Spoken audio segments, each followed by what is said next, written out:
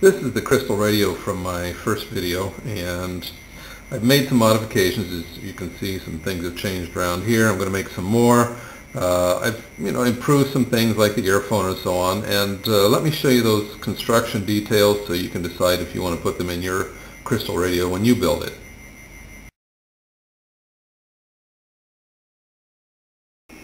One change I've made is to replace these, I call them Fahnestock clips uh, on one side with uh, these brass washers.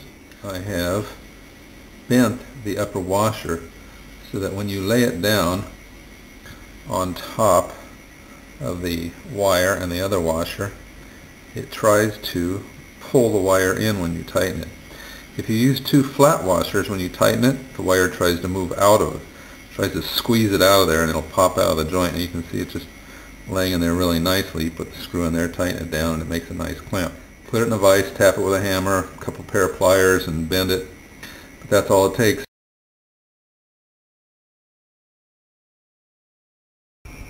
One of the things I've been working on and I'm still not happy with is the wiper. I've made some improvements on it, but still it's not good enough. Ideally, you want the wiper to have a very light touch and to move smoothly and evenly across here. Uh, with this setup, you get more pressure as you go towards the center, which causes the wiper to bend and then release, bend and release, so it's a jerky motion. Uh, not the best. Uh, again, I've improved it. Some of the improvements are I have uh, moved where the bend is. The bend used to be back here and now I moved it over to here. Uh, it helps a bit. Uh, the hole I originally had was more of a D shape and it was not uh, it was not smooth. That caused it to jerk also. Uh, there was a sharp edge at the end of the at the end of the wire when I bent it and that was digging into the brass and releasing, digging in and releasing, especially when you turn it uh, this way against uh, the point of this, it would dig into the brass and release, dig in and release. Very jerky motion, not good. Uh, I would like to find like a brass grommet to put through here perhaps to make the hole smaller and, and uh, brass moves a little bit more smoothly. The other thing I've done is focus on the screw. Originally I had a screw where the threads went all the way up. That was a bad idea. The, as you move it one way, the uh, the wiper would go inside the threads and go up and then it would bind as it hit the top and when you came back it would snap and whatever so that was not good. So I put a bushing in here uh, it helps a bit. Uh, tried a bigger washer smaller washer. A bigger washer seems to do a little bit better but uh, that's it. I think next time when I do the when I do the wiper I think I will use a brass rod because I can solder it and I will solder the brass rod maybe do a couple washers or something uh, to give it a, a smoother thing. Uh, the other thing I've noticed is on some of the older radios, what they do is they have a, a piece of wood here that's almost as tall as the almost as tall as the uh, coil, and they mount the wire on it like this, and then it's pretty much just gravity and a little bit of pressure they use to uh, hold the hold the wiper against the uh, coil. So that's a thought I may end up doing that.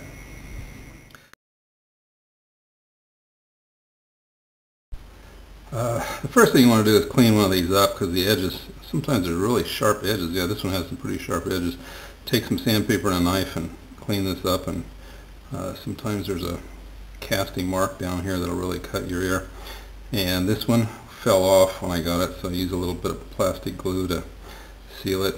Um, the other thing is when you're trying to solder these ultra fine wires onto something a lot bigger like I did over here uh, make an extender for it. Now there's a trick to that so that it just doesn't break off. A lot of times when you put a solder a thin wire onto a thicker wire like this, it'll break real quickly. So let me show you how I did that and it usually works for a long time. So let's get to it. So the first thing you're going to want to do is prep your wire ends and you want some shiny copper and I always cut off maybe about an inch or so especially if the wire's been sitting around for a while or if it's been used, if it's been twisted. Uh, you don't want like broken strands and all that in here. So the next thing I'm going to do is I'm just going to twist these together. And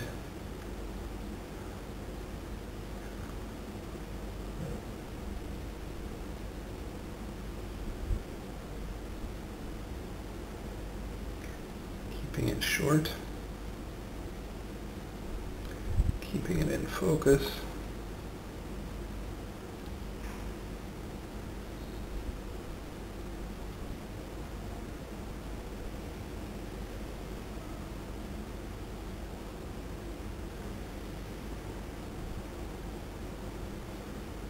Okay, so that's about it. Want get everything all nice and beautiful. And now we're just going to solder those. Try to get my ends tight if I can. There's no point in having a lot of wire sticking in there. Because after this, I'm going to solder it, and I'm going to put shrink wrap on each one of these. I'm going to fold them down, and then I'm going to put a bigger piece of shrink wrap over them. So I want everything to be beautiful, compact. I don't want a big bulge in there any more than I have to. Okay, so I'll solder this off camera. I'll be right back. Now you can see what I've got. I've got some uh, two pretty clean solder joints, and what I'm going to do is I'm going to cut them off just as short as I can. Don't have any bulge, bulges, don't have any uh, sharp points on me, don't want any of that. It'll poke through. Okay, so that's it so far. Let's uh, get to the shrink wrap. We're going to need two sizes and I'll get that out here in a second. The first size of shrink wrap we want is something that'll just barely fit over these wires. Like this. Like that. Go.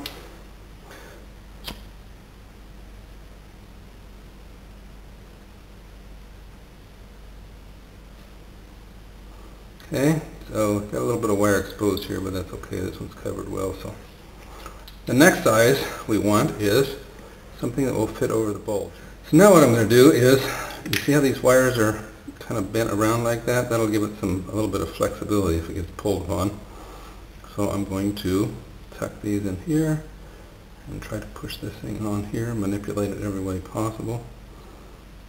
There we go. Pushing it on, staying in focus.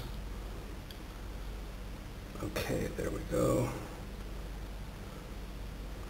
And now, make sure you get my lump in the right place, like that.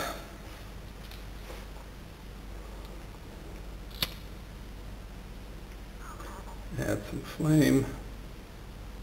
Make sure I get it on there.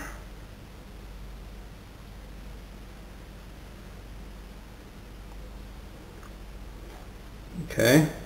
I always like to tin the leads. That way you're not always fussing around trying to, you know, they, they get broken off and whatever. So I always like to tin the leads, gives a better connection. And the other thing I like to do is put a piece of shrink wrap on so that they don't keep splitting. Um, so anyway, let me go tin it and uh, be right back. And these are pretty well tinned. Uh, no sharp points on, no sharp edges. I like to give myself, you know, like an inch and a half before I do the shrink wrap. That way I can split these and, and hook it to things.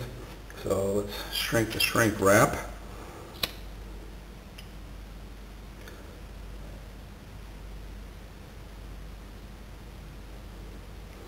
Okay, and split this. For cleaning this up, what I've done is I've sanded the tip off. These, the, sometimes these have a really sharp edge in here. So get the sandpaper on the edge, get that worked out of there. Uh, sand it off like this. Yeah, much better. There's a seam. Can you see the seam? If I put my finger there, yeah, you can see the seam right there. Make sure you get that seam off. Doesn't take much, but your ears are really sensitive and stick something sharp in them and it doesn't feel good. Okay, so that's much better. We have cleaned up our sharp edges on here, uh, glued this on if necessary. We have done our splice attached it to some more robust wire if necessary, made a little longer. And finally, we have reinforced and uh, tinned the, the connection leads on here. Uh, put on something to keep it from splitting some more. And that pretty much finishes up the uh, earphone. Well, there are three improvements for your crystal radio when you build it. The connectors, uh, the wiper, and the earphone. Hope you find them interesting and useful.